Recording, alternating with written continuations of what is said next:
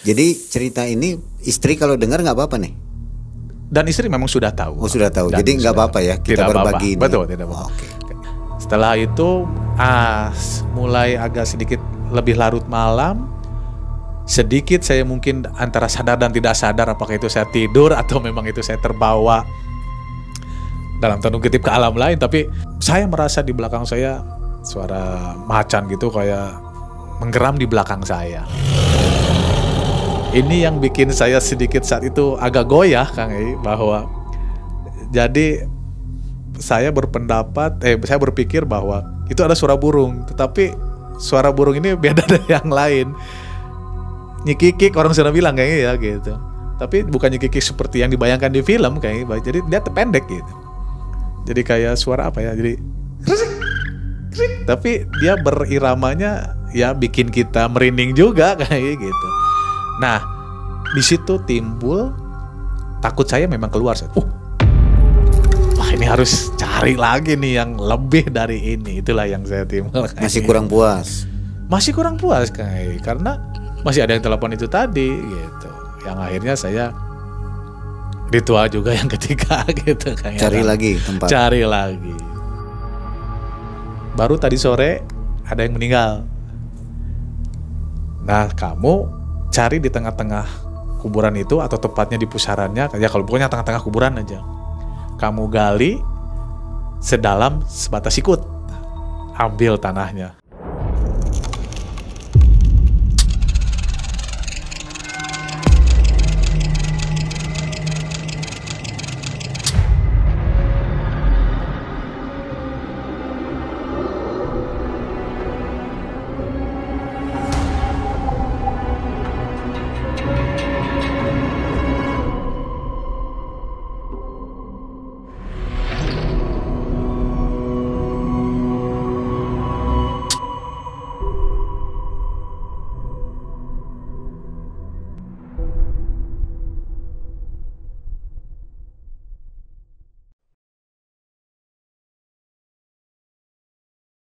Assalamualaikum warahmatullahi wabarakatuh.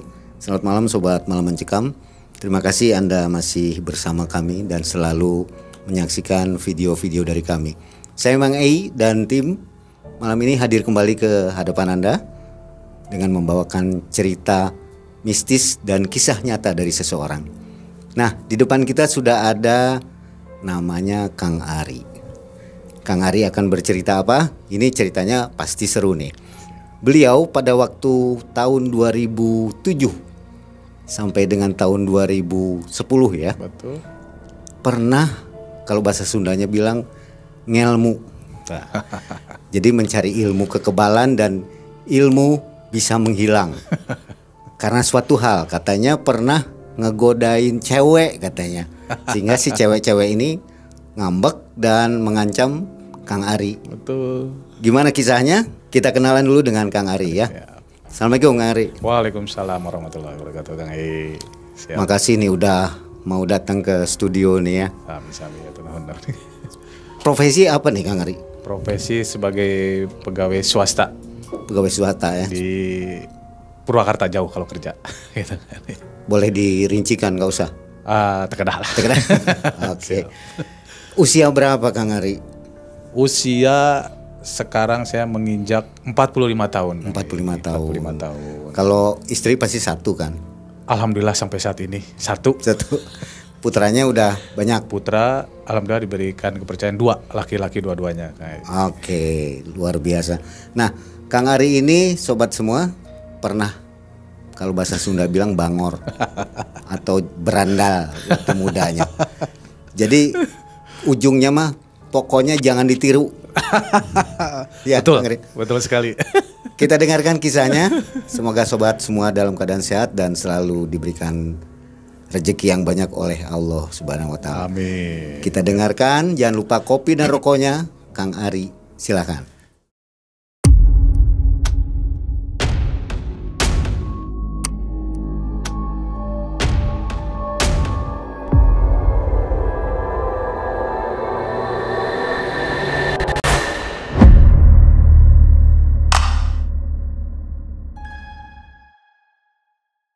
Yang saya alami pada saat tahun 2007 sampai dengan 2010 saat masanya dalam tanda kutip bahasa baong saat itu menjalani sebuah eh, men, apa namanya mendapatkan sebuah masalah karena efek atau akibat dari kenakalan saya. Saya kenal dengan seorang perempuan di sana saya biasa namanya kenakalan seorang laki-laki menggoda dan merayu seperti itu.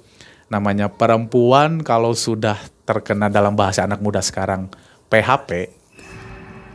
Kalau bahasa anak muda sekarang PHP itu eh, terbawa perasaan dan akhirnya ujungnya bahwa si perempuan itu ya dia meminta sebuah tanda kutip pertanggungjawaban terhadap saya dengan menikah gitu. Tetapi se- permasalahan itulah yang saya timbul jadi saya tidak mau sampai hal itu terjadi Yai. dalam artian bahwa karena saya sudah beristri dan anak tetapi saya melakukan perbuatan istilahnya mem- memberikan sebuah harapan terhadap perempuan itu yang pada akhirnya ya mungkin timbul emosional dari dari perempuan itu dari wanita itu yang merasa mungkin disa- dalam tanda kutip disakiti oleh saya.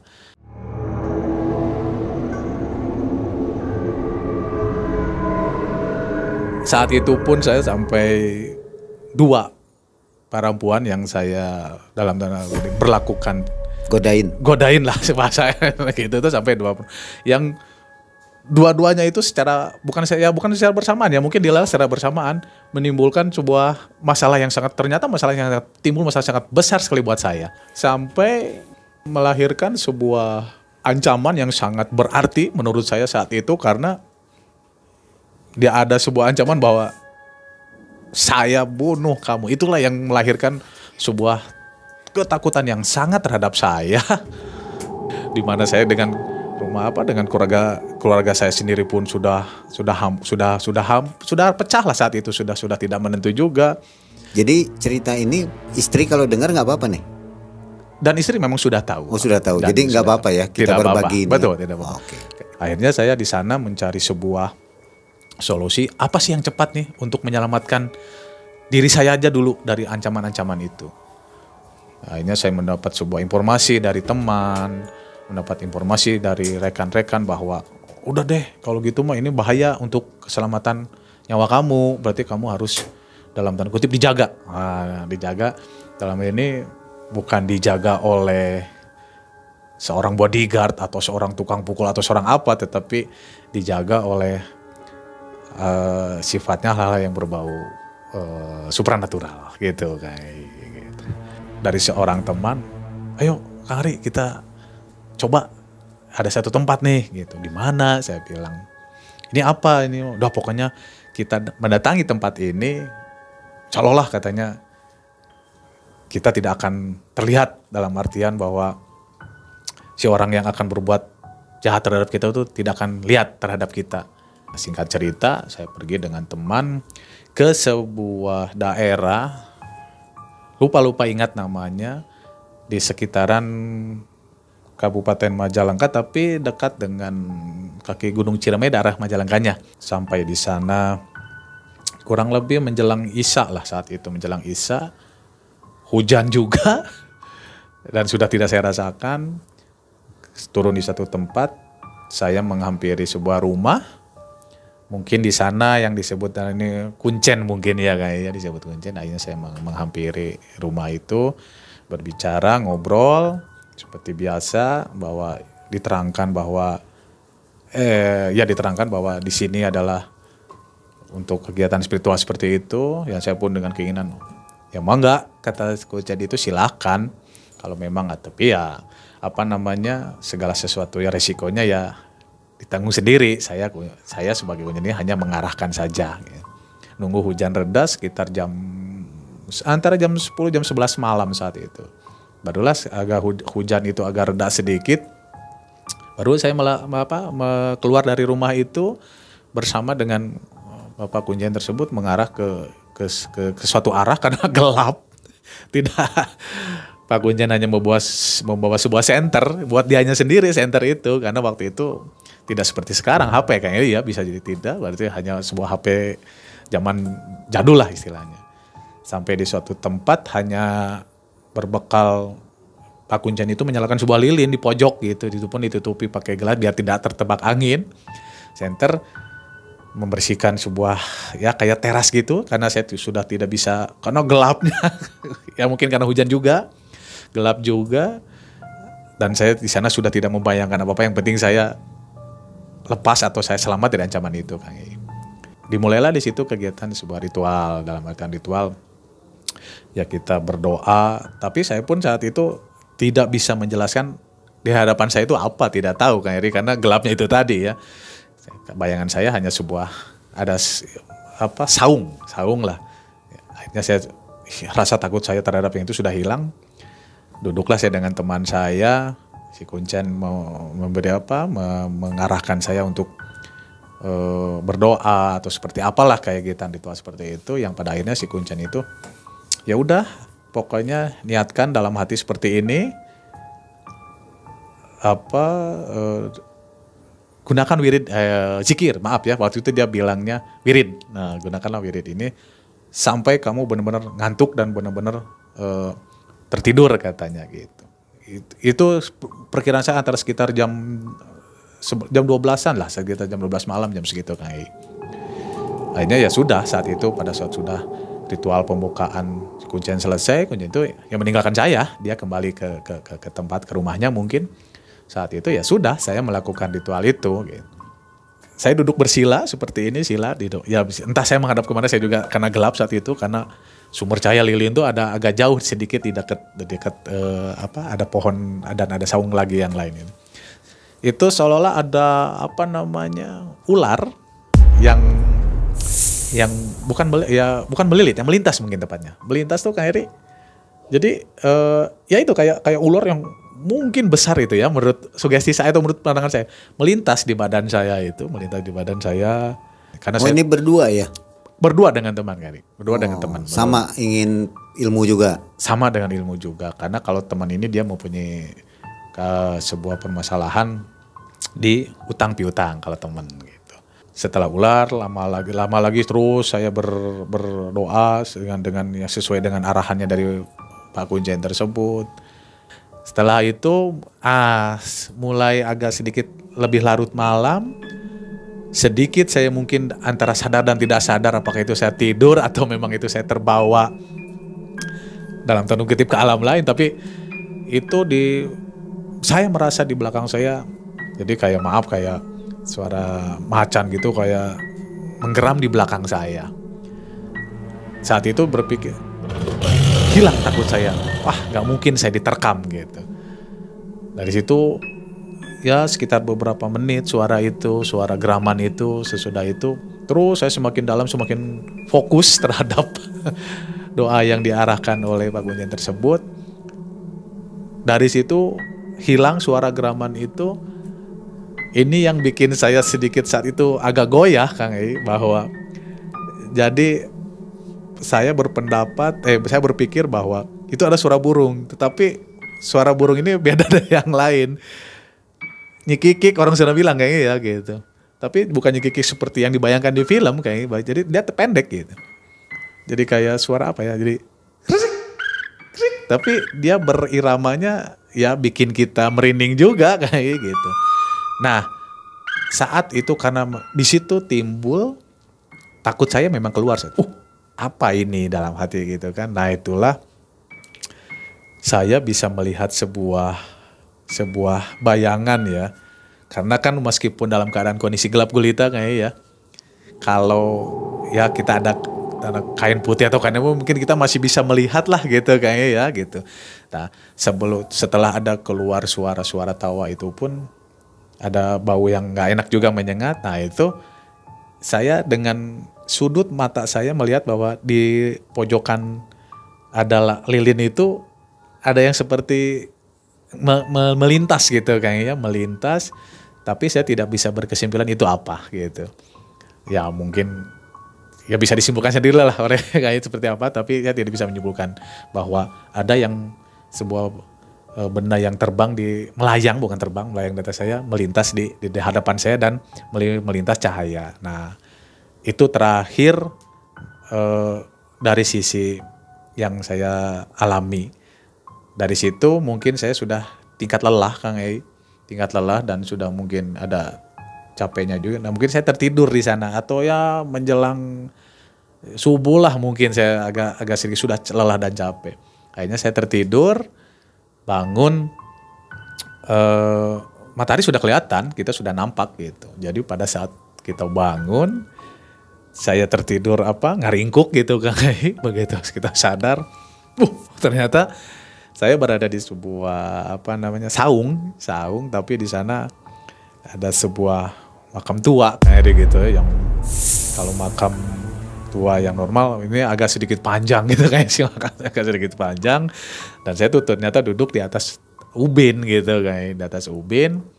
Akhirnya saya terbangun dengan teman saya. Ternyata tempat yang menyimpan itu adalah kamar kecil kamar mandi. Di sana ada air yang sangat jernih sekali kayak ya. Nah itu di sana saya cuci muka sambil menunggu Bapak Kuncen itu kembali. Ternyata hampir jam sekitar jam 7 saat itu, jam 7 pagi karena kondisi malamnya hujan masih datang Bapak Kuncen itu ngobrol-ngobrol-ngobrol kita seperti uh, menceritakan ada apa aja tadi malam kata Bapak Kuncen. Ya saya ceritakan sekitar Bapak Kuncen itu uh, ya udah katanya.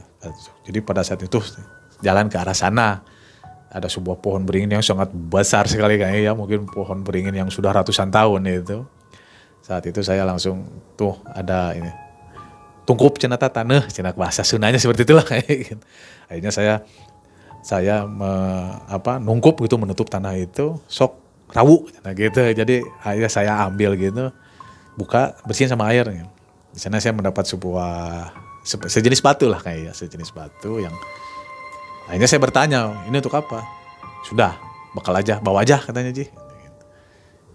Tapi saya penasaran nih, untuk apa batu ini? Gitu. Akhirnya beres ritual, si penutupan, saya pulang. Gitu pulang, sss, mampir ke rumah kuncinya ini batu untuk apa? Itu kan apa yang diinginkan kamu katanya. Kamu pengen apa? Pengen ya itu coba udah bawa batu itu. Jadi seperti itulah kuncian menjalan. Ya akhirnya saya tidak banyak bertanya karena saya beryakinan bahwa ya ini yang saya inginkan gitu.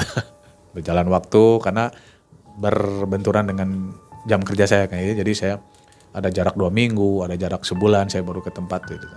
Pas itu dicoba batu itu? Betul. Dicoba nggak? Kalau dicoba tidak ada media atau tidak ada cara untuk mencobanya, tetapi saat itu saya merasa dengan saya memegang batu itu seolah-olah si orang orang yang melihat saya itu kayak kayak apa namanya malas gitu ngelihat saya itu. Jadi ah, oh sugesti saya bahwa wah ternyata benar nih saya tidak bisa dalam tanda kutip terlihat oleh orang mungkin seperti itu kayaknya ya gitu. Ini masih berlanjut dengan ritual berikutnya. Masih berlanjut dengan seiringnya semakin intens ancaman-ancaman itu Kang Ei. Hmm. Jadi saat saya ada oh, telepon masuk, HP di dulu kan masih HP jadul tidak seperti sekarang ya ya. Kita tidak bisa melihat profil siapa yang telepon itu tidak bisa. Ada setiap ada telepon masuk, saya angkat ancaman. Ada telepon masuk, saya angkat ancaman. Itulah yang akhirnya waduh. Kok masih ada ya gitu dengan ritual seperti ini. Tadinya yang saya percaya apa, saya merasa yakin ternyata oh masih ada. Sampai ada di mana pun kamu berada, kamu bisa terlihat katanya. Gampang kok bagi saya untuk bisa habisin nyawa kamu hari ini. Itulah yang semakin saya bertambah. Waduh, kok tidak ada ngaruh. Nah sedikit itu kayak akhirnya saya berpikir lagi ke mana lagi nih saya harus cari cari tempat lagi tempat untuk biar, biar saya lebih yakin dengan ancaman tidak terjadi sama saya kayak gitu Pak Waktu itu saya menjalani perjalanan ke arah Cianjur kayak ini. Cianjur e, semua kegiatan ini tidak ada yang kegiatan siang kayak kayak tidak ada siang karena memang saya juga jam kerja pulangnya sore mau tidak mau siap setiap kegiatan itu saya tuh malam kayak gitu. Pergilah kita ke arah Cianjur dengan teman yang lain. Ini kayaknya bukan yang tadi ya ini sudah ganti lagi dengan teman yang lain gitu. Ini kondisi istri udah sudah kayak. sudah marah-marah atau sudah oh, bagaimana? Istri boleh dikatakan sudah pasrah. Hmm. sudah pasrah artian istri sudah sakit hatinya tapi ada kasihan juga terhadap saya nyawa terancam gitu jadi mental istri pun uh, sudah kena gitu kayaknya saat itu juga ya, akhirnya setiap apa yang saya lakukan istri tidak bisa melarang, tidak bisa mengiyakan gitu. Ketemu ketemu dengan uh, bertemu dengan di Cianjur itu dengan seorang ahli supranatural. eh, paranormal di sana, ketemu ngobrol panjang lebar, menanyakan apa, ada apa, saya ceritakan kisah saya. Akhirnya saat itu ngobrol-ngobrol panjang lebar, kegiatan spiritual dimulai, saya eh, dimandikan dulu, Ngai. Dimandikan oleh apa? Mandi kembang, mandi kembang. Terus saya ingat saat itu si ahli paran apa si paranormal ini dia mencabut sebuah pusaka, dimasukkan ke dalam air itu, dia memberikan sebuah mantra mungkin tepatnya atau jampe. Sudah itu saya mandi, saya mandi Ngai. Saya mandi, sesudah mandi. Si bapak ini saya bilang udah mandi udah beres. Tuh baru tadi sore ada yang meninggal.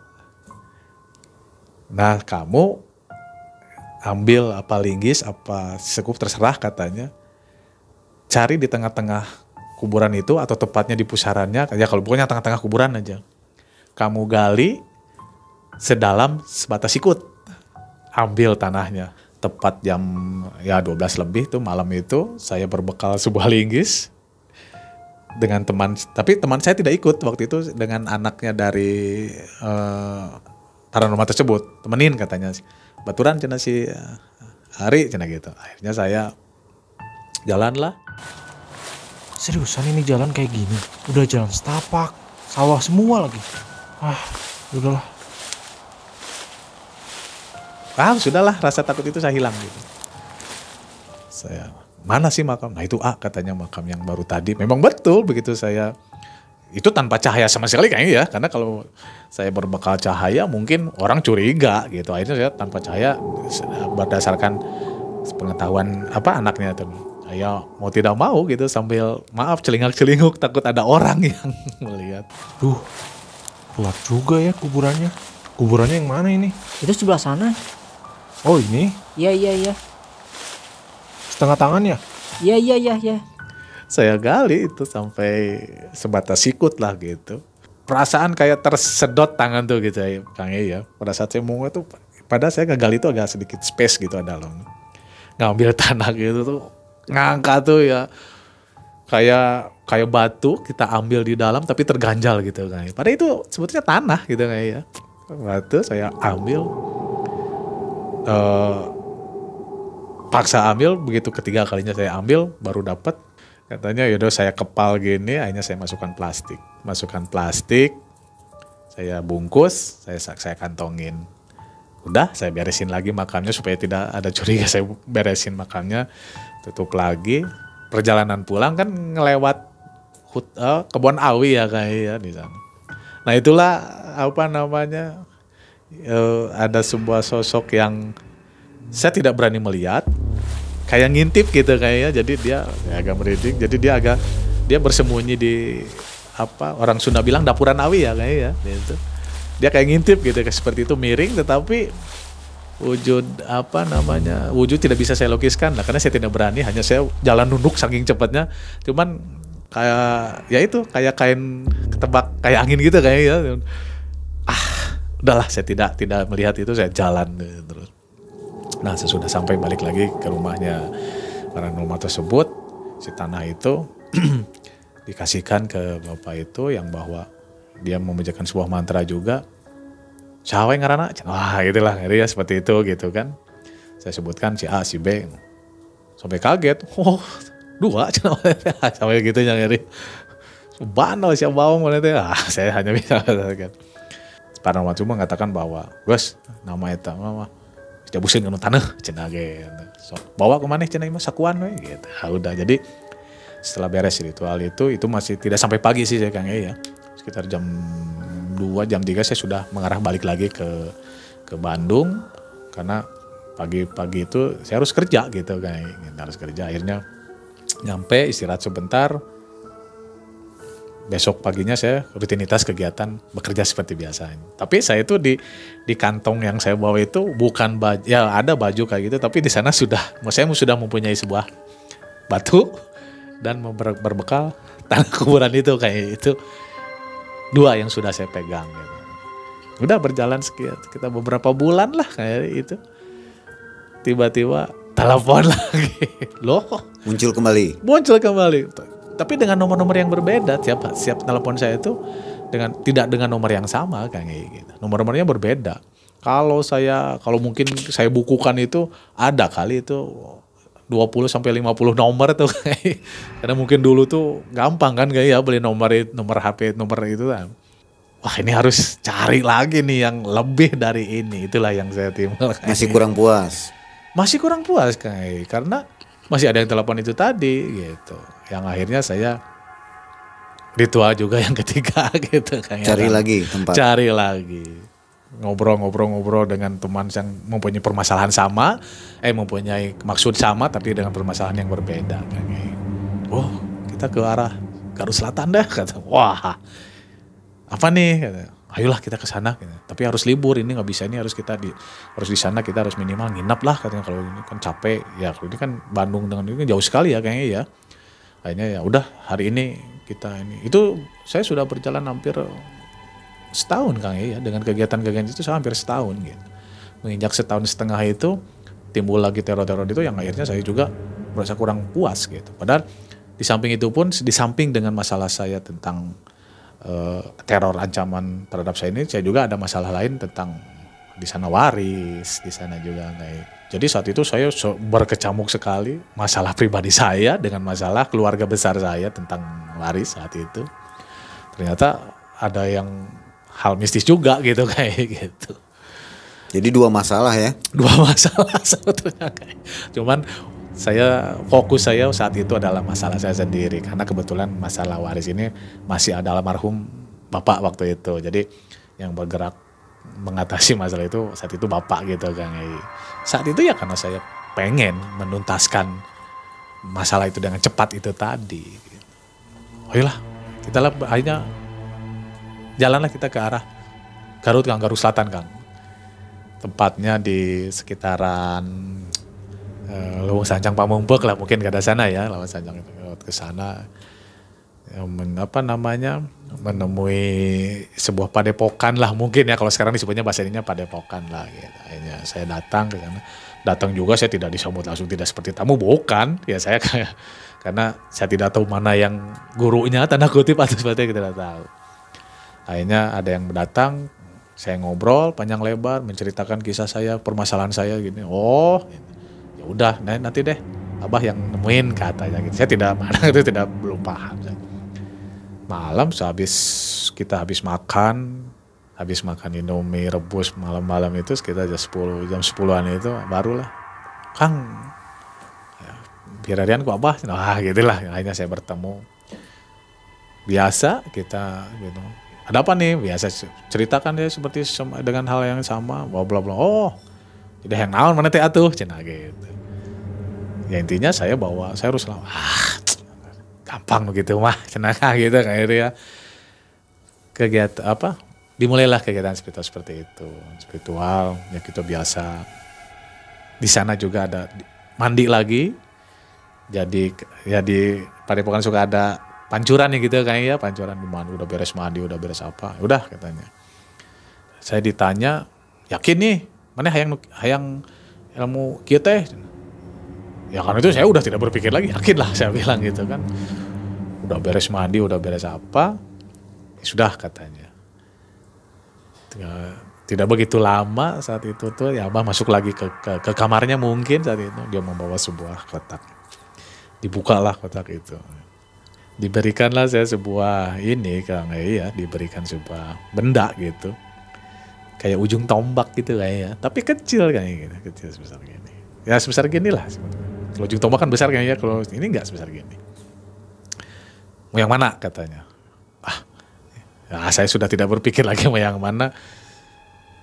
Ah yang ini bah ya udah pegang katanya. tapi mana kudu yakin ya kudu, kudu siap. Segala rupana cenah. ah saya sudah tidak berpikir lagi kayak udahlah apa nih ya udah katanya.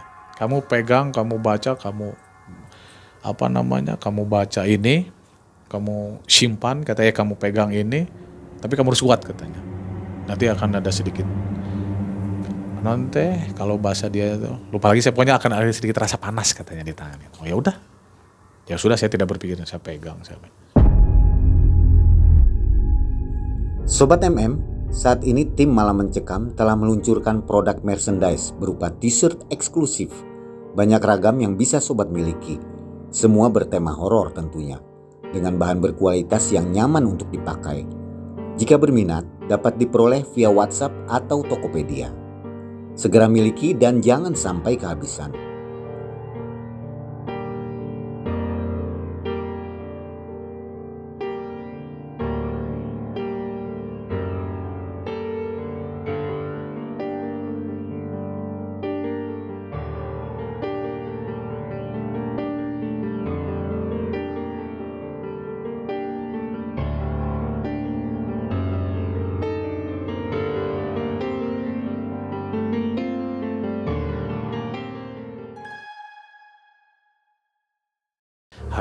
Hanya berlangsung 15 menit Kang Ii. 15 menit tapi dia sambil man, apa sambil ya baca mantra mungkin tepatnya kayak ini baca mantra. Dah yakin yakin mana cina gitu. Ah udah saya tidak berani. Siap, yakin. Saya dites Kang Ii saat itu. Dites dia nyabut sebuah golok kecil yang dia ada apa di di pada apa di sebuah pojokan itu ada semacam senjata tajam gitu. Saya kan kaget kayak. Tapi saya masih memegang pada itu kayak. Ceklan cina gitu. Akhirnya saya tangan saya kemarin itu dibuka goloknya. Untungnya tidak tidak tidak tidak dikadek yang ya, hanya ditempel di set gitu kan nih. Saya kaget kan secara naluri manusia normal saya kaget. Uh, eh kok tidak keluar darah gitu.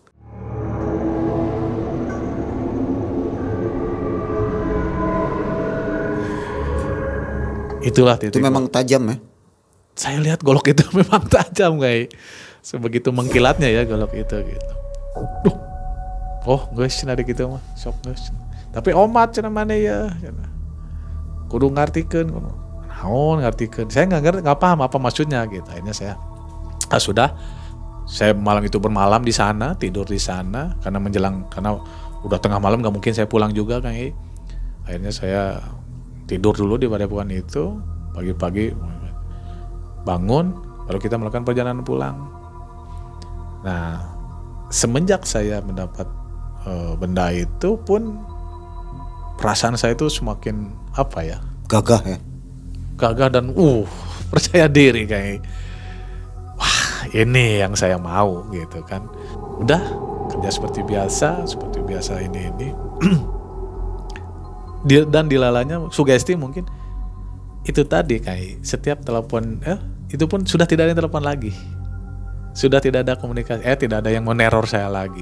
Ketemu orang pun saya tidak takut gitu.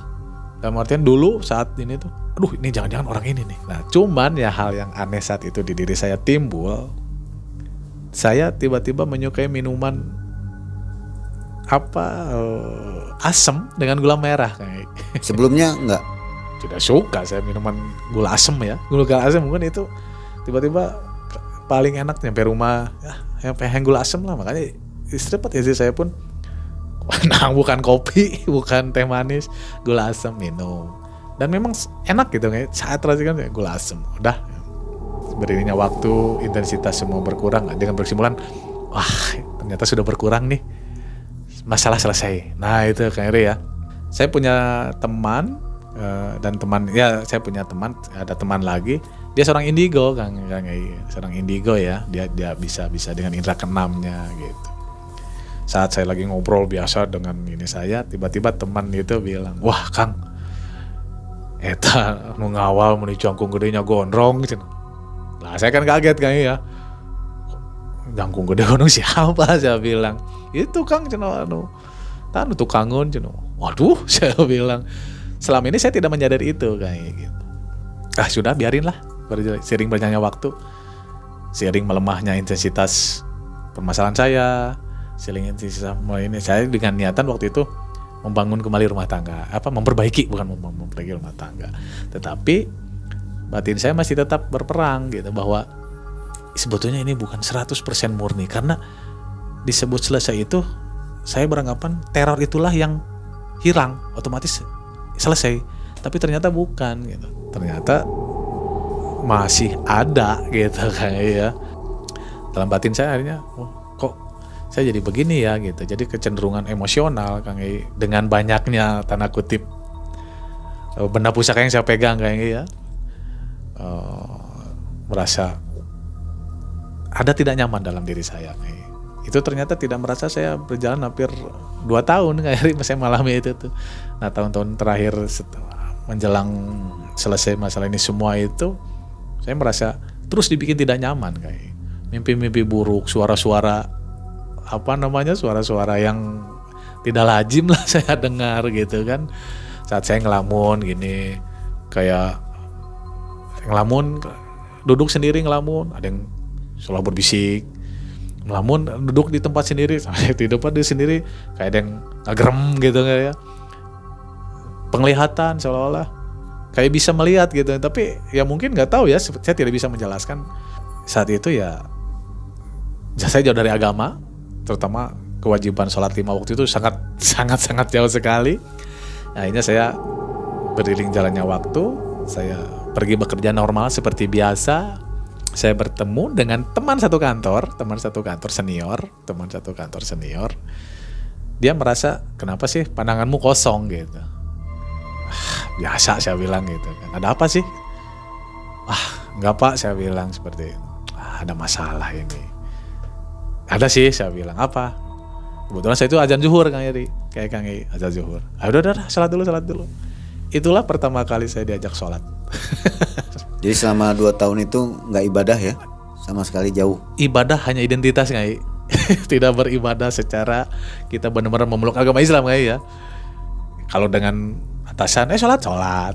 Ada teman eh sholat sholat. Tapi tidak dengan hati hanya sebatas status saya lah identitas bukan status tadi saat itu bagian orang ayo kita sholat dulu deh katanya. Kebetulan teman ini dia ustadz juga ya apa eh, orang bukan ya ustadz lah seperti kan. Karena di kantor juga dipanggilnya pak ustadz beres sholat mungkin di situlah Allah memberikan sebuah hidayah terhadap diri saya dengan spontanitas dan dengan kehendak Allah juga saya menceritakan ke kisah saya dari A sampai Z seperti ke Kang Ei ini gitu.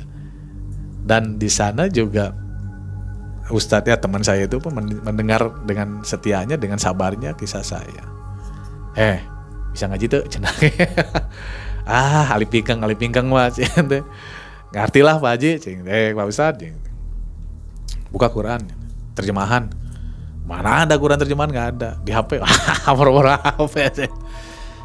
Saat itu teman saya itu Pak Ustadz itu membuka di di HP-nya eh di enggak tafsir di di masjid itu ada tafsir penerjemahan itu. Dia buka sebuah ayat di sebuah surat di Al-Qur'an dan sebuah ayat baca. Pak aku nggak bisa baca aja terjemahan saya baca terjemahan panjang lebar bahwa di sana yang sangat merubah atau menyentuh dalam hati saya adalah tidak akan eh, Allah tidak akan memberikan sebuah cobaan terhadap umatnya melebihi kemampuannya. Nah itulah katanya. Itulah yang membuat dia apa? Dia panjang apa ceritalah? Menurut agama panjang lebar dan itu membuat saya menangis gitu kayak bahwa ya sebetulnya saya sudah cenderung tanda kutip melakukan perbuatan salah ya kayak sirik selain salah awalnya pun saya berbuat salah seperti itu kayak gitu. Jadi saya harus gimana nih pak? Gitu dengan benda-benda pusaka yang saya dapatkan dari hasil selama ritual ini saya bilang tidak ada kata lain. Kalau kamu pengen buang. Itu pun proses Pak Kang Ei saya membuang semua benda-benda itu proses. Saya bertekad ayo udahlah. Ini sudah saya tidak butuhkan lagi Kang Ei akhirnya saya membangun kembali rumah tangga dengan istri kebetulan anak-anak saat itu masih kecil kayak jadi belum paham kalau mungkin sekarang saya bisa di ini anak saya. Saat itu saya me- apa, mengajak jalan-jalan keluarga saya istri dan anak saya ke laut. Karena saat itu ke pantai maksudnya karena ke Pangandaran waktu itu. Ke- saya sambil membawa barang-barang itu Kang gitu. Saya buang gitu, di laut saya dengan niatan bahwa ya sudah cukup saya di sini saya saya buang gitu tetapi ternyata tidak semudah yang dibayangkan Kang ada satu oh, benda pusaka itu yang harus saya kembalikan ke yang punya itu yang sempat saya akhirnya ya, tapi ya pun saya harus menuntaskan itu semua Kang. Jadi benda yang membuat saya kebal itu Kang itu harus dikembalikan gitu. Misalnya saya pergi lagi sendiri waktu itu karena permasalahan saya sendiri menghampiri itu dengan izin dan dengan apa bahasa yang halus saya ingin mengembalikan ini saya dapat ya marah dimarahin lah. Seolah-olah saya ada guru baru seolah-olah saya mempunyai ilmu yang lebih tinggi dari dia seolah-olah saya sudah apa ya ap- apa eh, kebaikan-kebaikan yang dia beri ini seolah saya tidak menghargai lah karena akhirnya saya bersikukuh bahwa bagaimana saya harus mengembalikan barang ini? Saya bilang. Dengan persyaratan saat itu udah katanya kalau memang kamu sudah tidak mau lagi kamu cari. Jangan cina ayam camani bingung saya kayak saat itu di padepokan itu. Cari ayam. Cari ayam ke mana ayam camani ayam camani ya. Betul. Ditemani orang padepokan. Ayah cina ah, ayo orang pirarian weh cina ada sok seur cina. Ah udahlah kalau banyak seur berarti kan orang di desa itu menyebut seur itu berarti ada banyak gitu nggak ada udah. Dilalah dengan jalan ini dapatlah saya. Mahal itu harganya. Saat itu 150 ribu di desa. Untung saya bawa uang itu ya penting untuk bisa bongkos balik lagi lah saat itu. Itu ritual saya laksanakan lagi. Barang itu saya kembalikan lagi ke yang punya abah itu setelah disembeli diambil darahnya Kang ya, diambil darahnya. Dengan ritualnya dari abah tersebut bahwa secara resmi saya mengembalikan barang itu gitu. Dan tidak ada efek apa-apa di saya. Saat itu sudah beres ritual saya begini, sampai dengan ada marah, ah itu marah mau kaduhung cina gitu. Saya lupa, enggak saya bilang. Nah, saat itulah baru setelah ritual sekitar satu jam itu sempat saya mandi, oh, mandi lagi ke mana beres mandi beres apa, tuh tuh hai panitik cina. Saya ngambil peniti ya kang Ai coklat kumanis sorangan cina tongko apa cina.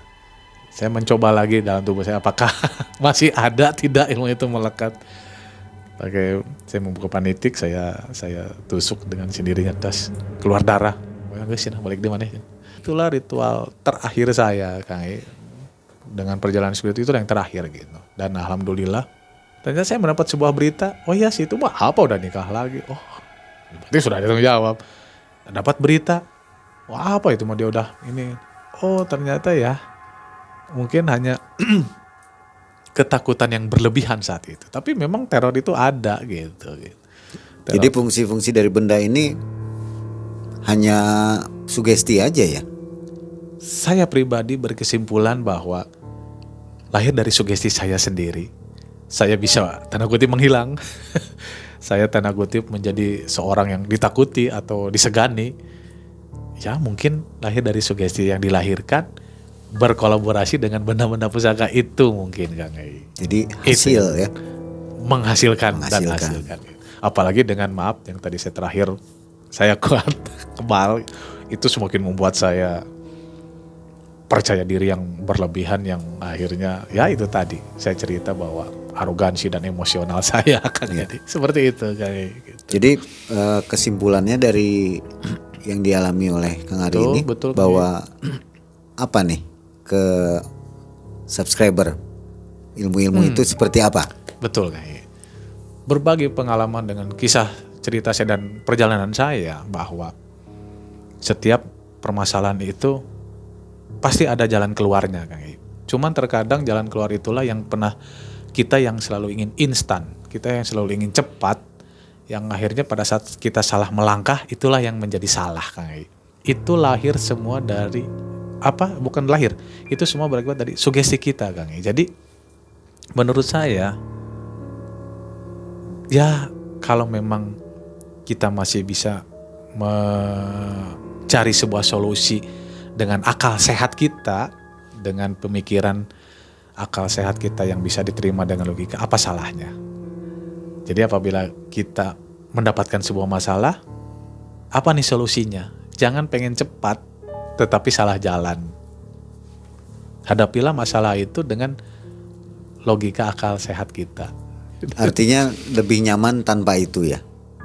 lebih nyaman tanpa itu Ai. Dan tentunya di jalan Allah yang sekarang ini. Sangat sangat betul sekali jalan Allah. Cuman prosesnya itulah yang harus sebagai manusia kita bersabar. Itu saja. Jadi masalah terselesaikan bukan karena ngelmu ya. Cewek-cewek ini pergi karena memang mereka sudah menikah. Ternyata betul seperti itu. Jadi bukan karena hal ini ya. Bukan hasil hasil dari saya ritual, bukan hasil saya dapat benda bukan guys. Ternyata seiring berjalannya waktu, hanya butuh kesabaran. Mereka dengan sendirinya juga ada solusi masing-masing yang akhirnya berujung ke solusi saya selesai gitu. Kang. Dan sekarang istilahnya sudah kembali ke jalan Allah nih. Alhamdulillah Kang Ai. Sudah sedikit nyaman, demi ya? sedikit. Sudah nyaman selama kita masih bisa mensyukuri dan kita masih bisa menikmati jalani. Jangan pernah kembali lagi ingin instan dan cepat tetapi salah melangkah. Itulah yang sangat sangat merugikan bagi kita Kang Dan yang terpenting teror sudah hilang ya. teror sudah hilang. Oke. Itulah kisah dari Kang Ari yang sangat menginspirasi ya buat kita semua menambah Betul. apa namanya menambah pembelajaran untuk kita jangan mengambil jalan pintas. Betul Ai. Masih ada jalan yang lebih benar yang harus kita tempuh. Betul sekali Kang Ai. Oke. Kang Ari, ini terima kasih ceritanya nih. Sama-sama Kang I, mudah-mudahan kisah saya ini bagi yang belum jangan sampai mengikuti, bagi yang sedang ya cobalah Segera. segera dengan trik apa dengan cara saya. Bagi yang sudah mungkin kita oh iya ternyata. Nah, mudah-mudahan itulah menjadi Oke. sebuah inspirasi buat yang sedang menjadi pengalaman yang sudah dan yang menjadi pembelajaran bagi yang belum gitu Kang I. Ini luar biasa ini cerita yang. Jadi jangan eh, saya simpulkan aja. Betul. Jangan buru-buru ke dukun lah. Itu Gitu ya. bahasa itu. Bahasanya ini agak-agak ekstrim Agak tapi ekstrim, betul sekali. tapi ya ini kesimpulannya. Betul sekali. cari dulu jalan yang benar. Betul. Mungkin ada di sebelah kita lebih dekat ya Betul. untuk konsultasi. Betul sekali. Baiklah. Itulah perjalanan. Hari makasih nih udah ceritanya. Sama-sama Kang Ei. Kita akhiri saja. Siap kali. Terima kasih. Sobat MM, sampai di sini kita jumpa lagi di video selanjutnya. Semoga kita semua dalam lindungan Allah Subhanahu wa taala. Amin. Kang Wabillahi taufik wal hidayah. Assalamualaikum warahmatullahi wabarakatuh. Waalaikumsalam.